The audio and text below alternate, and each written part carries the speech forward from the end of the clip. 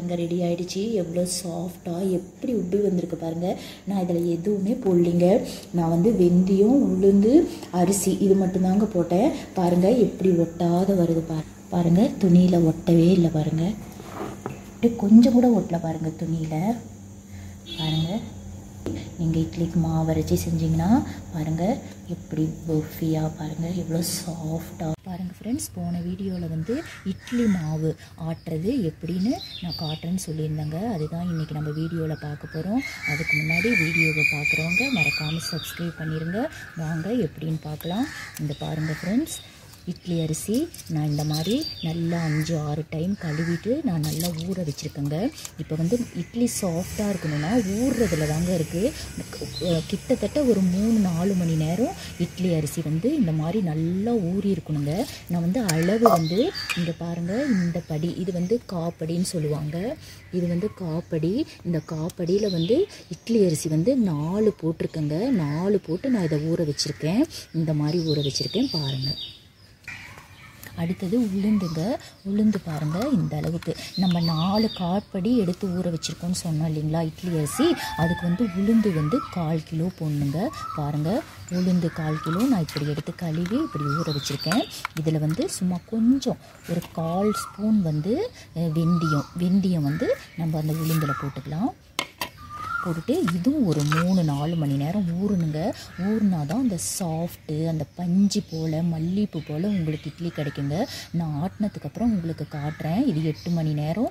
இந்த அரிசியும் உளுந்து நம்ம ஆட்டினது வந்து நல்லா புளிக்க வைக்கணுங்க. புளிக்க வச்சதுக்கப்புறம் இட்லி ஊற்றி காட்டுறேன் பாருங்கள் உங்களுக்கு எவ்வளோ சாஃப்டாக நான் இது பா இப்போ காட்டினேன் இல்லைங்களா? இதில் நான் ஒன்றுமே போடலை. சும்மா நம்ம இட்லி அரிசி வெந்தயம் உளுந்து இது மட்டும்தாங்க போடுறேன். இதுலேயே உங்களுக்கு பஞ்சு மாதிரி இட்லி எப்படி வருங்கிறத நான் உங்களுக்கு செஞ்சு காட்டுறேன். இது ஊறினதுக்கு அப்புறம் நான் மாவு எப்படி ஆட்டணுன்றதை காட்டுறேன். பார்க்கலாம். பாருங்கள் ஃப்ரெண்ட்ஸ் நம்ம இட்லிக்கு வந்து ஊற வச்சுருக்கோம் இல்லைங்களா? அரிசியும் உளுந்தும். இப்போ வந்து நான் ஃபஸ்ட்டு உளுந்து தாங்க போடுவேன். இப்போ வந்து ஒரு நாலு மணி நேரம் இந்த உளுந்து ஊறிடுச்சுங்க. இப்போ வந்து நம்ம போட்டு அரைச்சி எப்படி ரெடி ஆகணும்னு நான் காட்டுறேன்.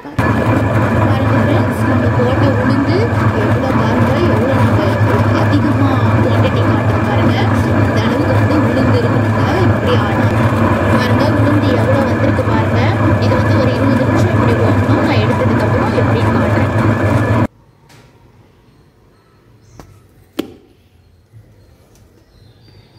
பாருங்க இந்த அளவுக்கு ரெடி இது மாவு வந்து ரெடி ஆகிருக்கணும் உளுந்த மாவு இப்படி இருக்கணும். பாருங்கள் ஃப்ரெண்ட்ஸ் இந்த அளவுக்கு உளுந்த மாவு இருக்கணும். நல்லா கெட்டியமாக இப்படி ஆட்டி வச்சுக்கோங்க. அடுத்தது வந்து நான் அரிசி போட்டு ஆட்டுறேன். எப்படின்னு பாருங்க ஃப்ரெண்ட்ஸ் அரிசி மாவு ரெடி ஆகிடுச்சி இந்த அளவுக்கு இருக்கணும் பாருங்கள் இந்த அளவுக்கு அந்த குறை குறைப்பு இருந்தால் தான் இட்லி உங்களுக்கு பன்னு போல் சாஃப்டாக இருக்கும். அது அது மாதிரி பார்த்து எடுத்துக்கோங்க. பாருங்கள் பாருங்கள் ஃப்ரெண்ட்ஸ் இந்த அளவுக்கு உப்பு போட்டு நம்ம இதை கரைச்சி வைக்க போகிறோம் பாருங்கள் இந்த அளவுக்கு கரைச்சாச்சு. இது வந்து அப்படியே மூடி வச்சு எட்டு மணி நேரம் இருக்கணும். அதுக்கப்புறம் இட்லி எப்படி ஊற்றுறதுன்னு காட்டுறேன்.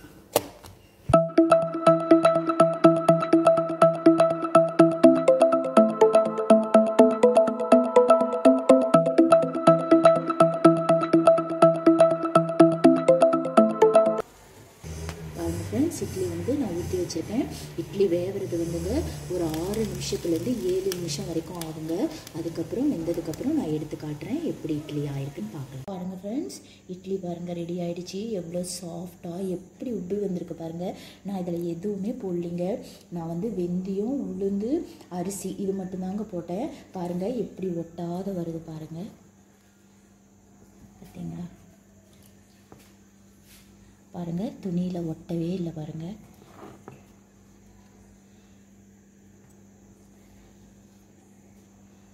பாருங்கள் ஃப்ரெண்ட்ஸ் எப்படி வந்திருக்கு பாருங்கள் சாஃப்டாக எவ்வளோ பண்ணு மாதிரி பாருங்கள் அப்படியே கொஞ்சம் கூட ஒட்டலை பாருங்கள் துணியில். பாருங்கள் சூப்பராக இருக்குங்க. இந்த மாதிரி நீங்கள் இட்லிக்கு மாவு அரைச்சி செஞ்சிங்கன்னா பாருங்கள் எப்படி பஃபியாக பாருங்கள் எவ்வளோ சாஃப்டாக பாருங்கள் ஃப்ரெண்ட்ஸ் எவ்வளோ மல்லிகைப்பூ மாதிரி பண்ணு போல் இட்லி உங்களுக்கு ஆட்டின மாவு ஆட்டி காட்டியிருக்கேன். உங்கள் வீட்டில் இதே மாதிரி ட்ரை பண்ணுங்கள் எனக்கு கமெண்ட் பண்ணுங்கள் ஃப்ரெண்ட்ஸ் பாருங்கள் ஃப்ரெண்ட்ஸ் எப்படி பன்னு மாதிரி எப்படி வந்திருக்கு பாருங்கள் இட்லி நம்ம காலையில் ஆட்டி எட்டு மணி நேரம் ஊற வச்சுதுங்க.